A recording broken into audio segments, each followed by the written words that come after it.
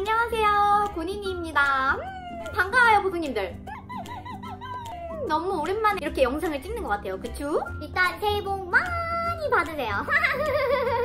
오늘은 우리가 왜 신년 새해 다이어트 내가 마음 먹었는데?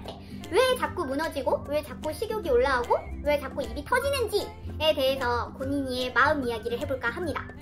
다이어트를 마음을 먹었는데 생각만큼 마음 먹은 만큼 잘 안 되죠 그쵸? 어, 맞아요 너무 유유 어려워요 정말 어려운 게 맞아요 당연해요. 왜냐하면 그런 이유가 다 있어요. 우리가 무너지는 이유가 자, 내가 왜 자꾸 무너지는가에 대해서 생각을 해보면요. 자, 세 가지 이유가 저는 크게 있다는 생각이 들었어요. 그러니까 첫 번째로 자극적인 음식을 굉장히 많이 먹어서 내 입맛이 자극적이게 지금 습관이 들여져 있어요. 많은 약속과 모임과 술과 뭐 맛있는 거 기름진 걸 먹으면서 입맛이 엄청 길들여져 있어요. 두 번째로는 나의 위가 이미 늘어나 있어요. 왜냐면 신정이고 연말이고 크리스마스고 하다 보면 송년회 회식, 막년회 뭐, 뭐 신년회 하다 보면 정말 많이 먹게 되잖아요. 나도 모르게. 어, 그래서 전보다 똑같이 먹어도 허기지거나 또 입이 터지는 상황이 생기는 거예요. 세 번째로는 겨울이에요.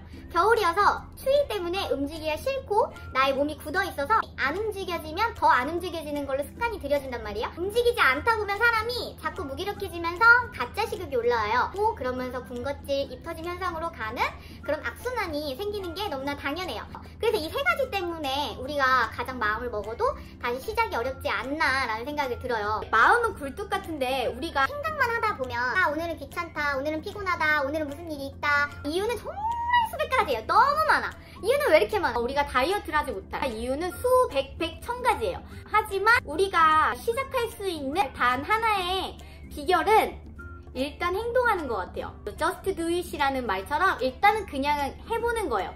5분이라도 1분이라도 내가 스쿼트를 10개라도 내가 1분이라도 한 가지의 행동을 하잖아요. 신기해요. 내가 오늘 하루를 해냈다는 생각에 내일도 해낼 수 있을 것 같은 자신감이 생겨요. 정말 할 수 있어요. 한 가지 행동이면 내가 오늘 했는데 내일 못하더라도 아 그래도 난 할 수 있어 라는 자신감이 생기고 용기가 생길 거예요. 그러니까 많은 노력과 완벽한 행동이 아니에요. 정말 사소하더라도 한 가지 행동이 나를 변화시켜 준다는 것.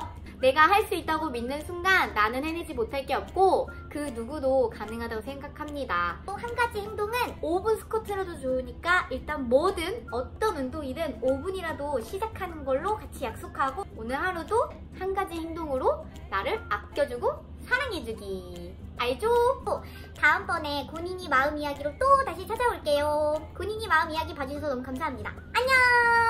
반가웠어요!